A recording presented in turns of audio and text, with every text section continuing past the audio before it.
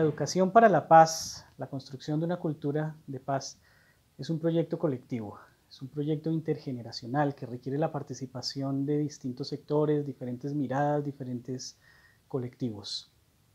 Esta serie de videos se realizaron en el marco de la Cátedra UNESCO en Educación y Cultura para la Paz, que es una iniciativa interinstitucional entre la Universidad Pedagógica Nacional, la Universidad del Rosario, la Conferencia Nacional de Organizaciones Afrocolombianas, la Organización de Estados Iberoamericanos y la Cámara de Comercio de Bogotá. La cátedra es un programa de actividades que comprende iniciativas de formación, desarrollo de proyectos, consolidación de redes y divulgación.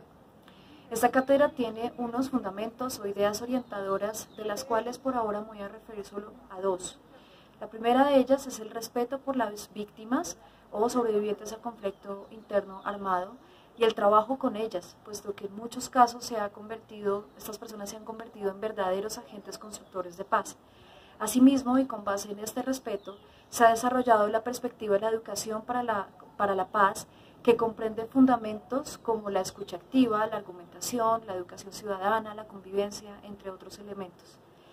El segundo punto o el segundo elemento, y es que va a estar ligado a, lo que acabo de mencionar, es eh, que resulta primordial para la cátedra es precisamente el reconocimiento de la escuela y dentro de ella del maestro como receptor de un encargo histórico en materia de construcción de paz.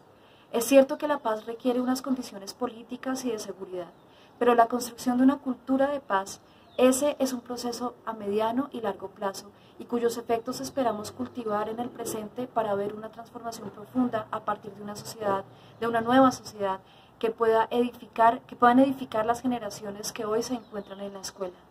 Los protagonistas de esta transformación son los maestros, los formadores. Por eso, el asunto de la educación para la paz en nuestra cátedra tiene como uno de los ejes centrales, junto con el del respeto por las víctimas, el rol de los maestros. Ahora bien, ¿qué pasa con estos ejes reguladores en el contexto del confinamiento? ¿Cuáles son los retos formativos en materia de convivencia ciudadana, de convivencia, de, educación ciudadana, de argumentación, de escucha activa, en un contexto de aislamiento?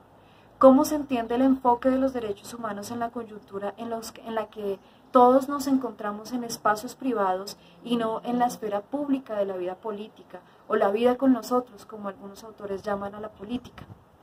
En esta serie de videos abordarán algunos de estos cuestionamientos, sobre todo como horizontes abiertos para la investigación y para la práctica de la construcción de cultura de paz en el contexto de la pandemia. Así es este grupo de videos que ofrecemos a continuación. Profesores y estudiantes de diversas universidades y de diversas carreras, asimismo egresados de nuestros programas, ofrecen sus perspectivas sobre educación para la paz, experiencias de aula, convivencia escolar, enfoques de educación para la paz y conceptos relevantes. Eso encontrarán en este grupo de videos que sigue a continuación.